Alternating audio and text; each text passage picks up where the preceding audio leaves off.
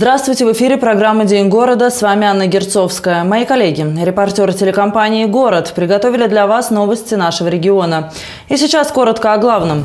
Должен быть, но его нет. Город-призрак, обманутые дольщики, экополис. Скоро все, что связано с этой проблемой, обрастет крылатыми выражениями. Горячая точка, связующее звено. Все это дежурная часть полиции. Куда вы попадаете, набирая номер 02. И администрация города накормила домашних животных.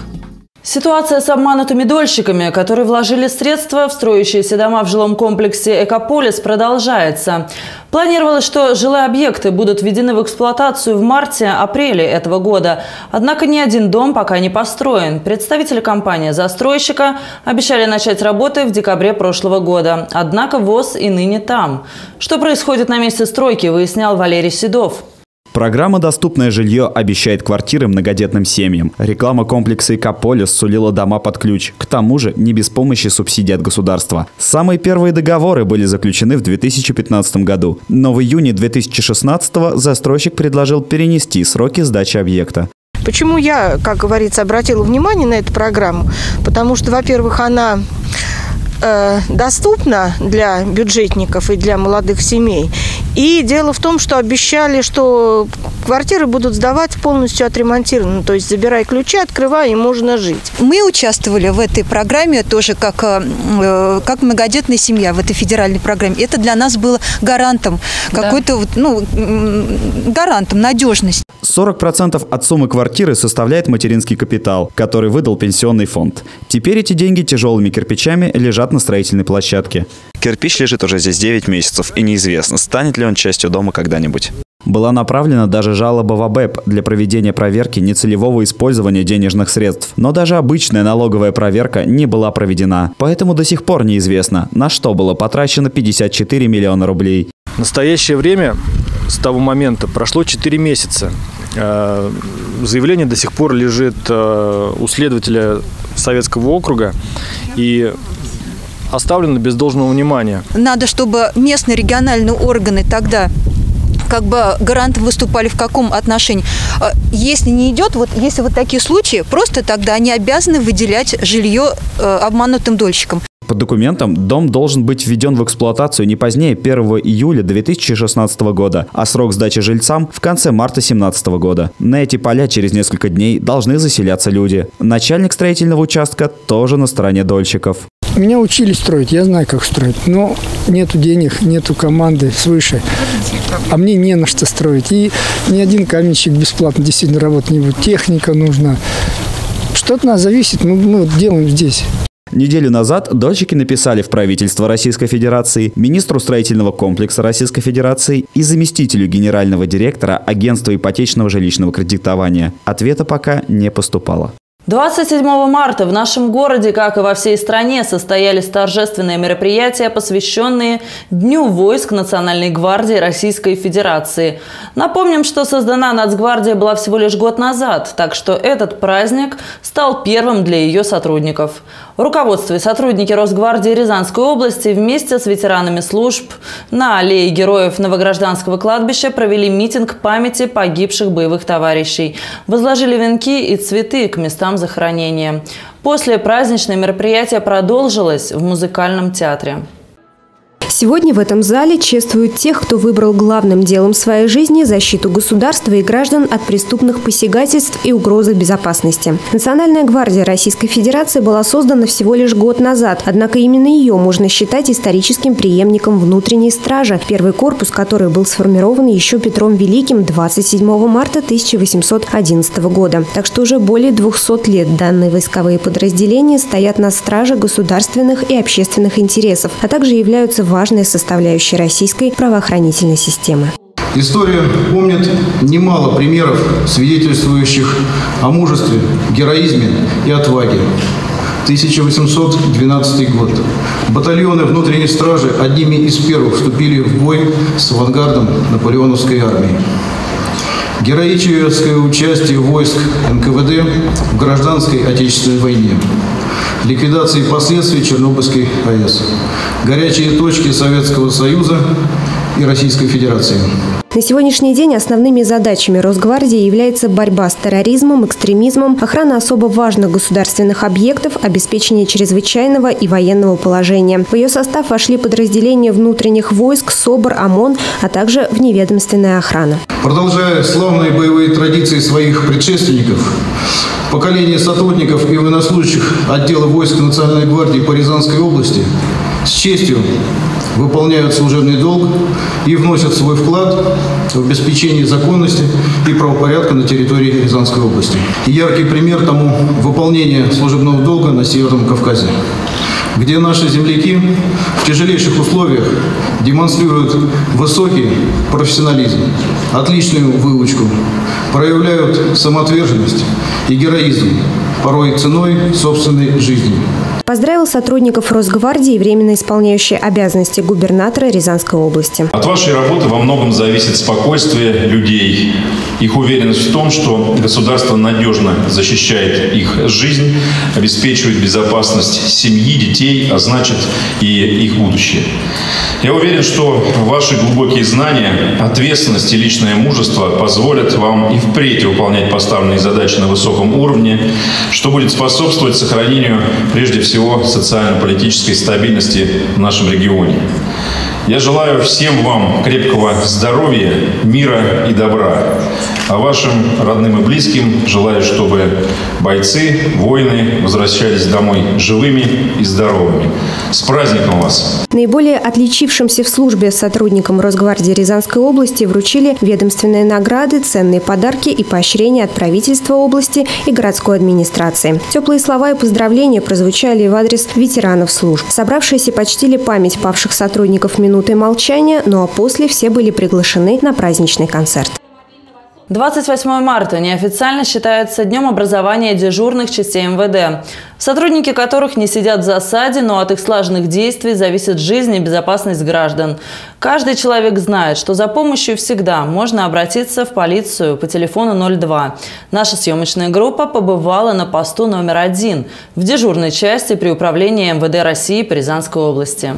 Театр начинается с вешалки, а отдел полиции с дежурной части, которую смело можно назвать горячей точкой. Ведь именно сюда мы и попадаем, набирая в самых сложных жизненных ситуациях 02.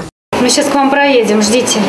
На обработку одного звонка уходит от 30 секунд до полутора минут в зависимости от объема информации и ситуации, о которой идет речь. Получив тревожное сообщение, дежурный молниеносно должен среагировать на сигнал и послать ближайший наряд к месту преступления. Обычно за день в главную дежурную часть города поступает порядка 400 звонков. Большая их часть – сообщения о правонарушениях и происшествиях, но есть люди, которые обращаются в полицию за консультацией как поступить в тех или иных жизненных ситуациях, каким образом э, сотрудники полиции могут им помочь. Или э, с просьбой предоставить информацию, куда обратиться в тех или иных случаях. Данная информация всегда предоставляется, очень много справочной информации сотрудники наши передают людям. О происшествиях сотрудники главной дежурной части узнают не только благодаря звонкам потерпевших, но и видеоизображениям, которые поступают на специальные мониторы с камер, расположенных по всей Рязани. Данная система получила название «Безопасный город». Она предназначена для мониторинга оперативной ситуации на территории города Рязани. Сотрудники также отслеживают по данным мониторам э, возможные какие-то конфликты. Если такие конфликты замечены, непосредственно идет информирование постовых и нарядов, которые находятся в составе единой дислокации для немедленного реагирования. Данная система в том числе помогает работе смежных структур. На площади Ленина произошло ДТП. Автомобиль Ford Focus черного цвета скрылся с места, э, поехал в направлении площади Соборная. Принимаем меры к розыску и задержанию данного автомобиля. Через считанные минуты на площади Соборной появляется машина ДПС и виновник аварии задерживается. Вот пример того, как работает система «Безопасный город». Все записи, сделанные с помощью этой системы, сохраняются и впоследствии могут быть использованы в работе оперативных спецслужб. Также благодаря трансляции изображения с камер, работающих на железнодорожных и автовокзалах, происходит поиск лиц, находящихся в розыске. Именно поэтому дежурные части считаются связующим звеном всех подразделений УВД. Ведь именно от их их профессионализма и слаженной работы зависит скорость раскрытия преступлений, своевременное задержание правонарушителей, здоровье потерпевших, а иногда и их жизнь. В конце лета прошлого года наша телекомпания показывала сюжеты деревни Шевердиновка, которая расположена в 15 километрах от Рязани. Ее жители находятся буквально в западне. Единственная дорога, связывающая деревню с цивилизацией, на протяжении 4 километров непригодна для проезда гражданских автомобилей и спецтранспорта. По ней даже тяжело ходить. После обращения нашей телекомпании в областную прокуратуру на проблему жителей Шевердиновки наконец обратили внимание. Наша съемочная группа отправилась в Шевердиновку в прошлом августе в сухую жаркую погоду. И столкнулись мы с тем, что по грунтовой дороге, которая, что называется, в списках не значится, никому не принадлежит, и, следовательно, ее состояние никого, кроме местных жителей, не волнует. В разбитом настолько состоянии, что пройти или проехать по ней настоящее испытание. Проезда в деревню никогда не было. Было, было как проедешь там, все. Сейчас чуть дождик, все уже на по передней привод на колени я не могу проехать. Дорог нет у нас. Ни туда, ни сюда, никуда. А сейчас Ни на чем не проехать. И не пройти даже. Ползком. На электричку идешь прям. Вот сейчас вот опахали. Тут травка была у нас, не пахали ее. Ходили по травке. Дождь прошел, уж ползком ползи. Полная изоляция, с трех сторон поля, к пожарному пруду дорога перепахана и единственный заезд с федеральной трассы вот в таком состоянии даже в сухую погоду, что говорить о ненастье. Естественно, жители Шевердиновки забили тревогу и обратились в нашу телекомпанию с просьбой помочь. Помимо серии репортажей, наш коллектив обратился с открытым письмом в прокуратуру области, и дело, наконец, сдвинулось с мертвой точки. Прокуратура области была организована проверка по факту телесюжета на телеканале «Город» об отсутствии дорожного сообщения из деревни Шевардиновка Рязанского района. В этой связи прокуратуре области было дано поручение о проведении проверки прокурора Рязанского района. По результатам проверки прокурором Рязанского района 25 октября 2016 года в Рязанский районный суд было направлено административное исковое заявление к Министерству транспорта и автомобильных дорог Рязанской области об обязании ответчика направить предложение в правительство Рязанской области о включении автомобильной дороги подходящих к деревне Шевердиновка, в перечень автомобильных дорог общего пользования и межмуниципального значения Рязанской области. Теперь решением суда дорога внесена в список муниципальных дорог общественного пользования, и это, надеемся, послужит началом приведения участка в должное состояние. Мы продолжим следить за развитием ситуации. Смотрите во второй части выпуска. Я кошка, хожу где вздумается и гуляю сама по себе. Рязанским защитникам бездомных животных администрация города оказывает поддержку. Плесень бывает полезной, если она на сыре. О том, как развиваются рязанские сыроварни. И поющие доктора. В Рязани начался фестиваль искусств студентов, медиков и медицинских работников. После удачно наступившей весны, когда, казалось бы, зима осталась за спиной, на город вновь обрушился снег. Аномальное тепло, сухость и пыль сменились влажностью и большим количеством осадков.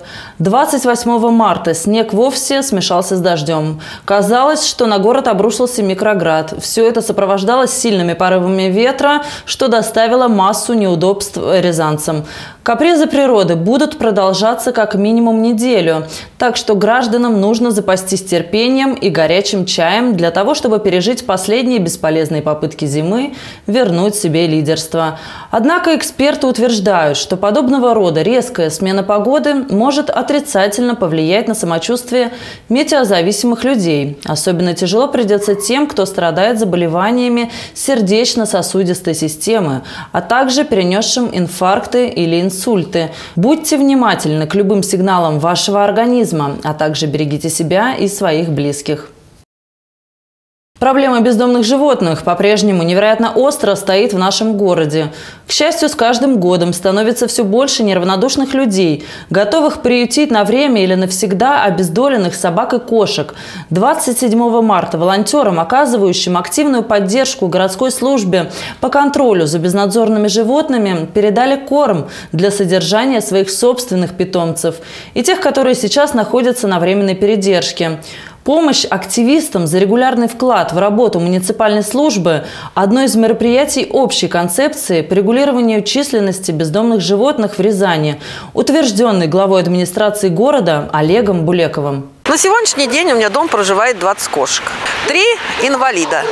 Одна кошечка с одним глазом, два вообще, котенок есть без двух глаз. И из-под машины вытащила котенка, которую даже срослись ребра неправильно. Именно благодаря таким людям бездомные животные находят свой дом, получают шанс пережить холода и не умереть от голода. Руководитель городской службы по контролю за безнадзорными животными Марина Селезнева называет этих людей внештатными сотрудниками службы. Ведь именно они берут животных на временную передержку к себе в дом, выхаживают их, лечат и зачастую оставляют жить у себя. Однако и самим волонтерам необходима помощь, ведь лечение и содержание животных требуют немалых материальных затрат. Сегодня мы передаем корм для э, волонтеров, для людей, которые занимаются бездомными животными, которые помогают нам.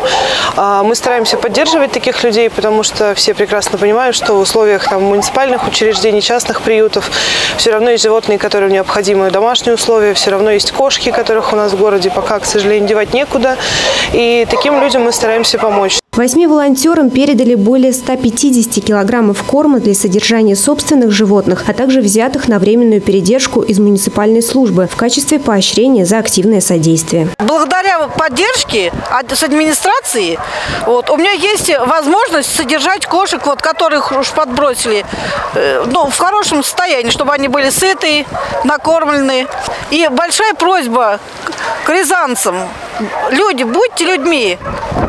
Не подбрасывайте в другие дома маленьких котят. По словам Марины Селезневой, передача корма для питомцев-активистов службы проводится регулярно. Возможным это становится благодаря поддержке администрации организации различных благотворительных акций. В числе прочих, в этом году по инициативе Управления инвестиционной политики, развития малого бизнеса и потребительского рынка стартовал проект «Полная миска». На площадках крупнейших торговых центров и гипермаркетов Рязани были размещены специальные корзины, где все желающие могли оставить корм и товары для бездомных животных.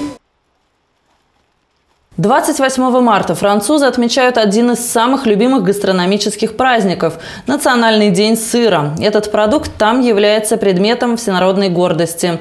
А по объемам его потребления Франция занимает первое место в мире. С введением продовольственного эмбарго жители нашей страны остались без европейского сыра. Но этот же факт сыграл на руку местным фермерам. Теперь это направление развивается. Марина Комиссарова посетила Рязанскую сыроварню. Недаром говорят, что во Франции производят столько сыров, сколько дней в году. Хотя по некоторым данным, сегодня их существует гораздо больше. Сыр – это живой организм. С его рецептурой можно играть бесконечно, и поэтому, как бы, допустим, сыр выдерживается несколько месяцев, у него один вкус. Он полежал еще полмесяца, у него другой вкус. Это уже по другое даже название у него будет. И в настоящее время, конечно, существует около 4000 видов, наверное, сыров во всем мире. Без сыра не обходится ни один француз французский завтрак, обед или ужин. К столу принято подавать отдельное блюдо с сырным ассорти, где вполне гармонично друг с другом соседствуют сыр с плесенью, мягкие и твердые сорта. Наслаждаются этой изысканной закуской согласно этикету после основного блюда или перед десертом. Конечно, сыр с голубой плесенью каждый день кушать не будешь на завтрак, правильно? Вот, но побаловать себя хочется. Второй сыров, наверное, опять же, это адыгейский сыр, это на каждый день, вот, то есть тут прям его берут по много, скажем так. И и сливочный сыр тавуш – это полутвердый сыр э, и является то есть, сливочным. От 4 месяцев у него выдержка идет.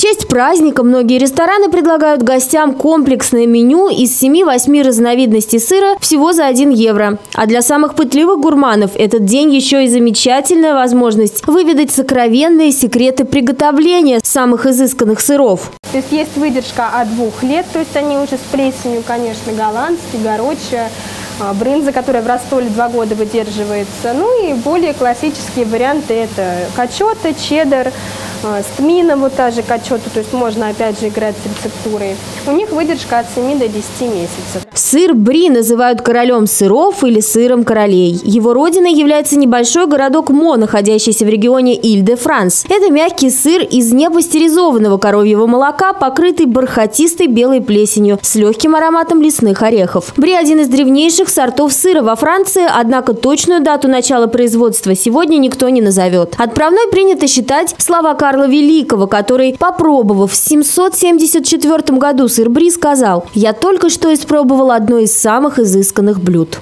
Ну, Голубой плесенью, как бы у него выдержка идет 7 месяцев, вот, в камерах они хранятся, ну так же, что и бри, они хранятся по э, температуре плюс 8, плюс 10 градусов. То есть, ну, заражаются они вот друг от друга. То есть, если этот, он как-то у него идет э, плесени больше, то бри он покрашен специальной латексной краской, то есть она, в принципе, съедобная, всегда считался сыром королей. Большими любителями этого сорта были королева Марго и Генрих IV. Графиня Шампанская имела обыкновение присылать сыр-бри в дар Филиппу Августу. А парижанин Шарль Орлеанский баловал своих возлюбленных дам сырными подарками, неизменно добавляя приписку «О, мое нежное сердце, я посылаю вам выбранный с любовью этот вкуснейший бри де мо». Сыр Рокфор романтичные французы зовут рожденным любовью. Занимаются его производством во французской исторической провинции Руэрк. Бытует легенда о молодом пастухе, пасшем овец на горе Камбалу, близ деревни Рокфор. В один прекрасный день юноша увидел молодую девушку с соседней фермы. Пораженный открывшейся ему красотой, страстный пастух устремился вслед за юной девой, в попыхах обронив свой обед, буханку хлеба и сырную головку, в пещерный грот. Догнал он девушку или нет, история умалчивает, однако говорит о другом. Через несколько дней юноша вернулся в пещеру и обнаружил, что оставленный им сыр покрылся голубоватой зеленой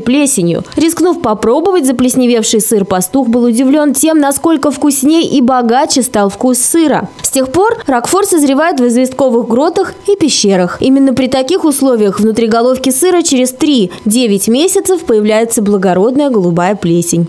Производимые в небольших количествах, ставшие редкостью, местные французские сыры можно найти только в деревенских лавках производителей или в ресторанах для гурманов, а десятки сортов сыра вовсе перестали существовать. Вот почему нынешний национальный день сыра во Франции – это прежде всего акция в защиту традиционного, изготавливаемого из сырого молока продукта. Рязанские домашние микрофермы вполне могут составить конкуренцию подобным эксклюзивным выпускам сыров в закромах Франции. В Рязанском государственном медицинском университете идет активная студенческая жизнь. На постоянной основе проходят соревнования по различным видам спорта, от плавания до дзюдо. Много мероприятий проводятся, которые касаются и научной сферы. Студенты участвуют в конференциях, изучают новое оборудование, обмениваются опытом. Каждый день будущих медиков насыщен свежими событиями. Не обходит стороной медицинские вузы и творческое направление. 27 марта в Рязанском государственном медицинском медицинском университете начался фестиваль искусств студентов-медиков и медицинских работников.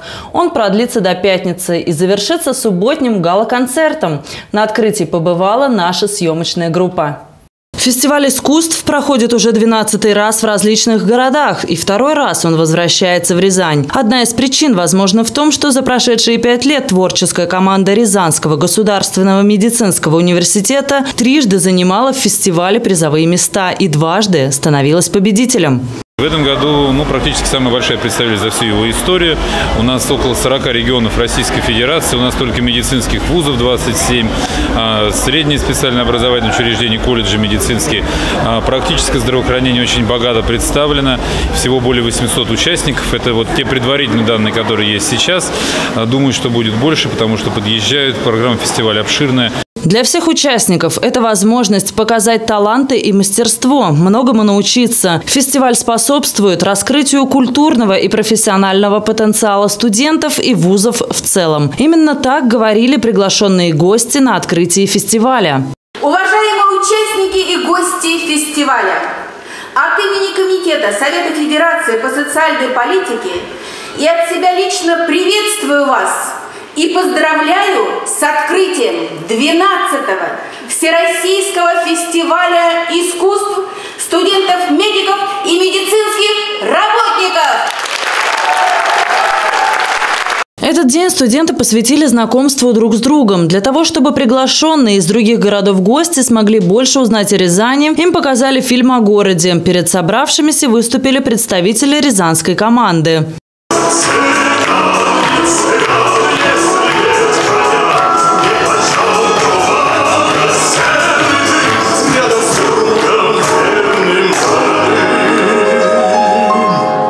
Профессия врача является одной из самых востребованных в мире, и в нашей стране серьезно относятся к подготовке специалистов. Рязанский медицинский университет, например, оснащен по последнему слову техники. Будущие доктора проходят практику в лучших лечебных учреждениях региона. Однако во многом успех специалистов зависит и от их творческого подхода к работе. Не может быть человек хорошим специалистом ни врачом, ни средним медработником, если он не творческая личность. Потому что какую специальность в нашей медицине не возьми, везде нужно творчество. Что хирургу, что рентгенологу, что лаборанту. по любой специальности. И ни одна не может быть медицинская сестра хорошим, душевным человеком, если она в душе не творится.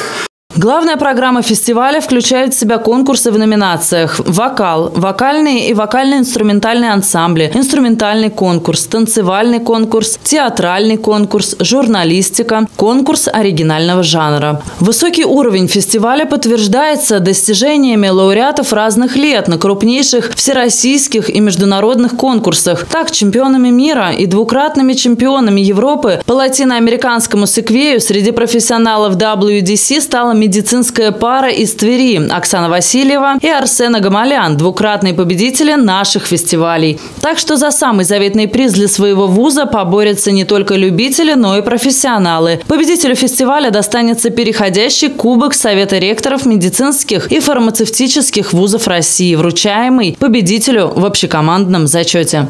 На данный момент это все новости. Следите за событиями на нашем сайте и официальных группах в соцсетях. Удачи вам и хорошего настроения. До свидания. Ипотека 7,4%? Ипотека 7,4%? Как? 7,4%? Да, всего 7,4%. Ваша выгода составит 450 тысяч рублей.